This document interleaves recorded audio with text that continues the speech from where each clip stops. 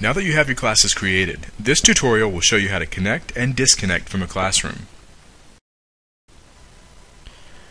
You begin your class by connecting to student computers. On the Administration tab, click the Connect icon to start your class.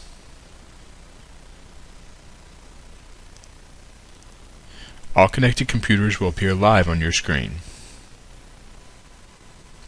End your class by disconnecting from student computers. To stop class, simply click the Disconnect button on the Administration tab. Click Yes in the Vision pop-up to confirm disconnection. You can also access your classrooms through the Vision toolbar. Here you can select the class you want to connect to, disconnect from a class, and go into Classroom Manager. You can also shut down, wake up, restart, or log off all computers or selected computers from this tab.